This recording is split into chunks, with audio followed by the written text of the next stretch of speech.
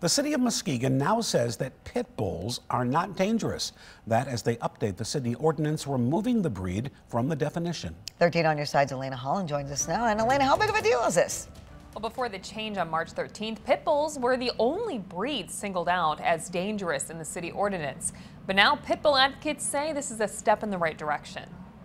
Oh my gosh, we're so excited to hear this. Lana Carson, director of Pound Buddies, called Muskegon progressive for removing pit bulls from its dangerous dog ordinance. Focusing on a dangerous dog, it's a behavior, it's not a breed. This is just there was uh, this is just an archaic mindset. City commissioners removed the singled out breed from its animal ordinance. Previously, pit bulls had to be muzzled when walking on a leash outside of its kennel or home. A beware of dog sign needed to be on the owner's home, and owners were limited to owning one of the breed. It didn't make sense to me that we were really calling out one breed. City manager Jonathan Seyferth says the change came about in a December work session over chickens. While uh, one of our commissioners was looking at it, um, she noticed the the the dog part of the ordinance that specifically um, uh, detailed out pit bulls, um, and then realized that through that that she was in violation of the ordinance. Dangerous animals with pit bulls removed are now defined as any dog or cat